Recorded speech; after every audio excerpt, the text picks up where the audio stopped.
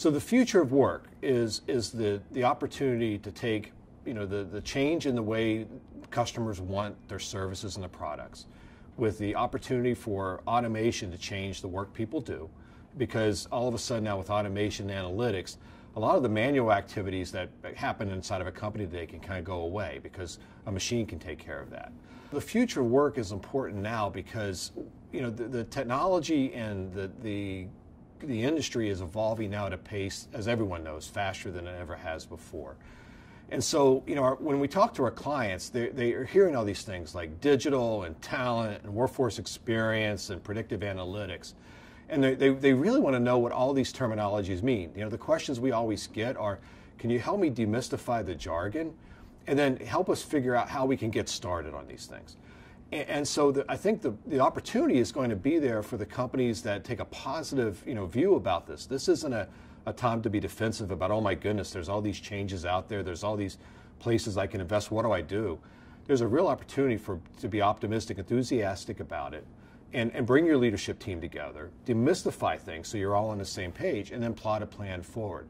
One of the great techniques that we've used in a couple of situations in, you know, in the last very recent past is around uh, what we call an immersive innovation sessions, where you pull your leadership team together. And, and, when I say leadership team, it's everyone from your top leaders all the way through, you know, some of your frontline managers. And in a couple of days, you know, you can really make a lot of progress. You can level set people on what all the jargon means. And after doing that, you can envision, well, what's that mean then in terms of how I can change my processes? Where are there opportunities to automate? Where are there opportunities to leverage predictive analytics? How can I potentially source different these activities in different ways. And then I can also then turn that into, in addition, my talent, my you know, how my organization look going forward. If you're going to automate work, at some point there will be jobs that will no longer be necessary because that work will be automated.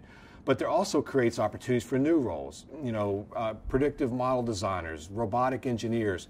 There's a whole opportunity for, for new roles and new jobs to be created and it's not good enough just to figure out about what, what jobs go away. You also have to know what you need in the future to be able to take the organization forward. And how do I use sourcing partners as a way of unlocking capacity to be able to do that? And then the third part is well, how do I get started? You know, what are those practical initiatives? You know, a lot of times I hear companies call those Pathfinder initiatives, those first few that get my momentum building across whether it's a, an automation play, an improved customer experience, or making you know greater investments in talent.